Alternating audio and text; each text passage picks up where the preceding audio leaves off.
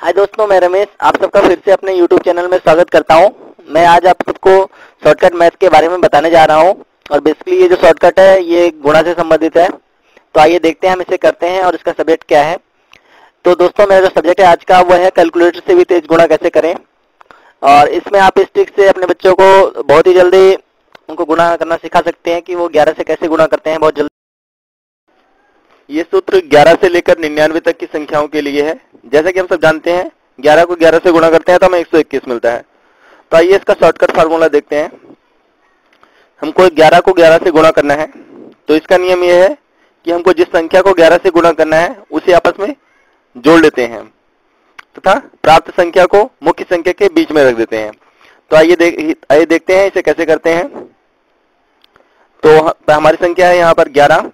हम एक और एक आपस में जोड़ देंगे, हमें दो मिलेगा।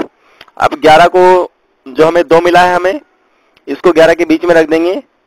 यानी कि ग्यारह के बीच में रखेंगे दो दो, यहाँ पर वन और वन टू वन, यानी कि एक सौ इक्कीस। देखिए हमारा उत्तर कितनी आसानी से प्राप्त हो गया हमें। एक और देखते हैं। मान लो हमें बत्तीस को ग्यारह से गुणा करना है।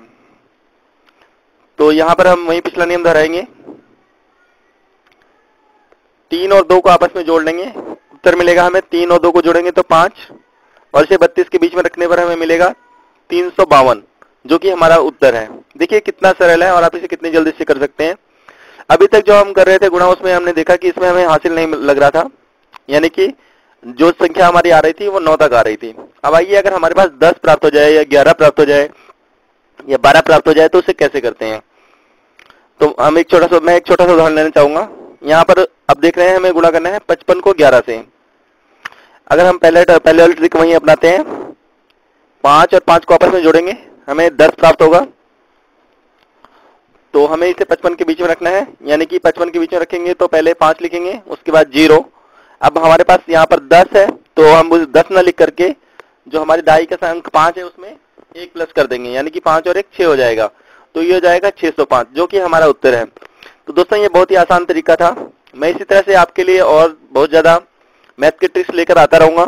Thank you for watching my video यदि आपको मेरा वीडियो अच्छा लगा हो तो प्लीज़ सब्सक्राइब करना भूलें और अपने दोस्तों को भी इसके बारे में बताएँ। Thank you thank you for watching my video